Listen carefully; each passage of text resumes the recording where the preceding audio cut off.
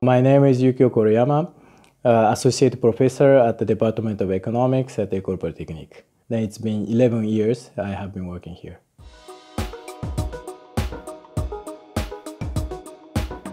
I'm teaching Econ 101, Introduction to uh, Economics, with my colleague Jean-Baptiste Michaud.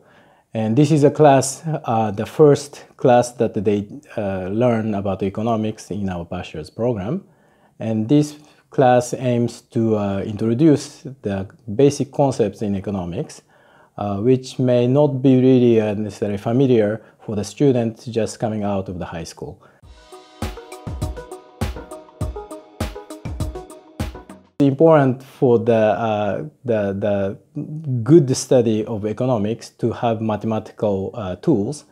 So here at Polytechnique, we can provide, or we aim to provide, the, the education which is based on the solid understanding of mathematics.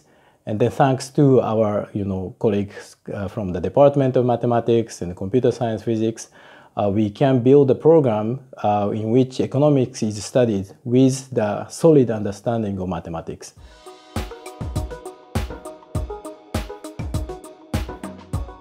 We expect the student to have very good appetite in mathematics and the scientific study.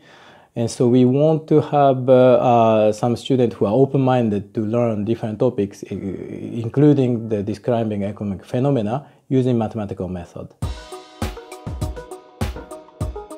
After this program, that the students are expected to be able to go any uh, master program in economics, and uh, I expect that they should be the best student in the master's class.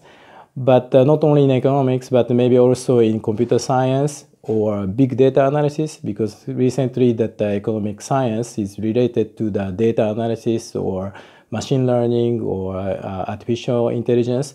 So there are many areas that they could be uh, uh continue studying uh, to continue the career.